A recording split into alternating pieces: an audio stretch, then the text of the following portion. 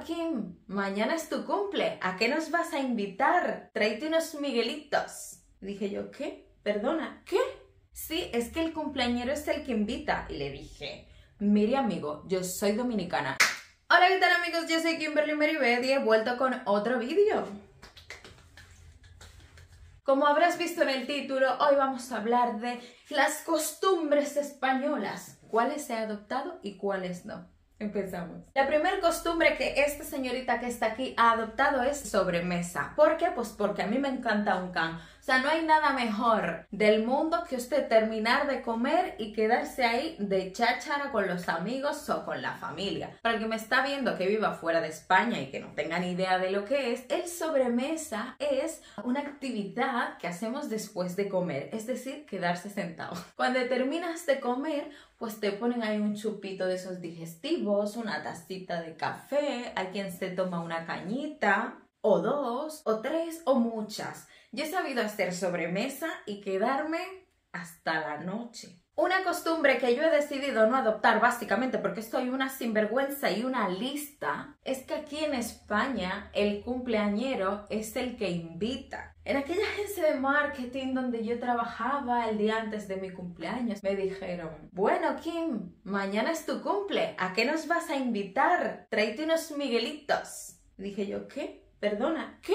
Sí, es que el cumpleañero es el que invita. Y le dije, mire amigo, yo soy dominicana y en Dominicana al cumpleañero es al que invitan. Así que miren a ver lo que ustedes me van a traer mañana, ¿eh? Porque yo cuando quiero soy muy dominicana. Muy dominicana. Otra costumbre que sí he adoptado de España es irme de discoteca después de la una de la mañana. En Dominicana, como muy tarde, como demasiado tarde, yo salía a lo mejor a las 10 de la noche, pero eso ya como muy tarde, porque mi madre me decía, como te quedes aquí hasta las 10 de la noche, tú no vas para ningún lado, ¿eh? Porque tú no vas a salir de la casa a las 10 de la noche. Así que claro, allá tú vas a las 11 de la noche y la discoteca está petada, ¿eh? Aquí en España, claro, tú te vas ahí al pub y te quedas hasta las 3 de la mañana porque la discoteca está vacía. De ahí me voy a la discoteca y al otro día pues a desayunar y para casa. Una de las costumbres que yo no he querido adoptar es comer primer y segundo plato. Ya sabemos que yo como por deportividad, o sea, a mí me encanta comer, así que yo no le he adoptado no porque me parezca demasiada comida, sino porque me parece demasiado trabajo para mí sola. Si me voy a un restaurante, pues sí, pero la verdad es que yo en mi casa no lo hago, la verdad. Otra costumbre que yo he cogido, le he hecho mía, mía, es echarle aceite a todo. Déjame en los comentarios si tú eres de esas. Yo soy esa persona que coge un cacho de pan, le echa un chorro de aceite, un poquito de sal y se lo harta y es que me sabe a gloria. Y mi yo del pasado pues fliparía porque yo Dominicana cuando probaba el aceite de oliva me parecía malo, como súper intenso, horrible. Y ahora eso es para mí. O sea, para mí es como oro líquido. Te lo prometo, me encanta. Yo no compro otro aceite aceite de oliva solamente. Comer pan con la comida. No, no lo hago. Me encanta el pan y obviamente me encanta comer, pero el pan acompañando la comida, no. Pero aquí es que la gente, si va a comer huevo y no tiene un pedazo de pan, que eso es un drama, ¿eh? Porque necesitan un cacho de pan para mojar en el huevo. Si comen alguna cosa que tenga salsa, necesitan un cacho de pan porque si no, ¿cómo van a rebañar el plato? Yo no puedo, lo he intentado, pero no sé, no puedo. No puedo comer pan con la comida. Otra cosa a la que yo me he adaptado, pero súper bien que lo he cogido al vuelo, es la forma brusca de hablar, es decir, utilizando por ejemplo insultos o palabras que en dominicana se consideran malsonantes, como por ejemplo, yo a mi colega le digo, oye, pero qué cabrón eres, tío, tal, o sea, es como normal, pero allá si tú dices cabrón, suena súper mal, dicen como, qué niña más mal educada, ¿cómo dices esa mala palabra?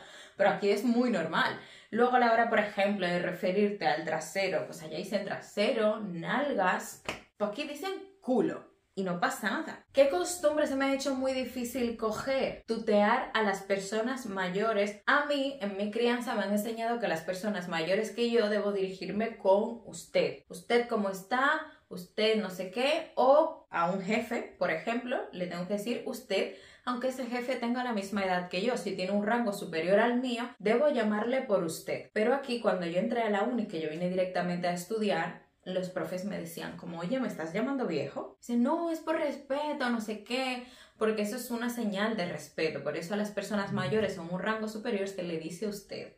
Yo he adaptado muy bien y he acogido el horario de las comidas. En las casas dominicanas es que a las once y media, doce como muy tarde ya la comida está servida. La gente come a esa hora y cena también temprano, entre 7 y 8 de la tarde.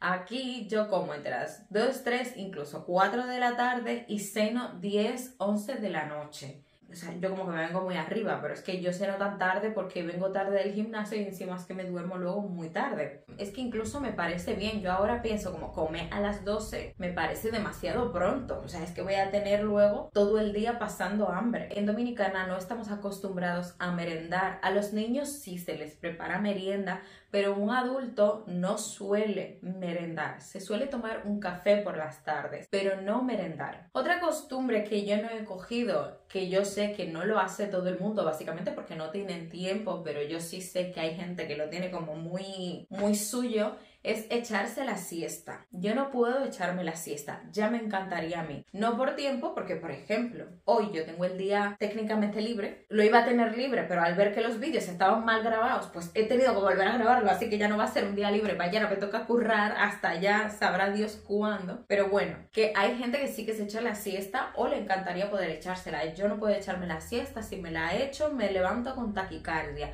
Además es que no consigo dormir porque mi cabeza se pone R que R, yo siento que cuando duermo estoy perdiendo el tiempo. Llámame loca. Yo incluso es que por las noches tampoco duermo mucho. Tengo problemas, tendré que ir al psicólogo. No consigo dormir, no me echo la siesta. ¿Tú te echas la siesta? Déjamelo en los comentarios. ¿Te la echas o te encantaría echártela? Y bueno, eso es todo por el vídeo de hoy. Oye, ya sabes, regálame un like si te ha gustado. Déjame en los comentarios cuáles costumbres de esta que he mencionado tú tienes, cuáles no, y si hay alguna que no he mencionado, déjamela ahí y oye, hacemos una segunda parte. Sígueme en mis redes sociales, ya sabes que tengo Instagram y TikTok donde subo pues todas mis chorradas entre bailes, cositas de humor y la queja del día. Comparte este vídeo si te ha parecido interesante y suscríbete si te apetece seguirme conociendo, así que nos vemos en la próxima.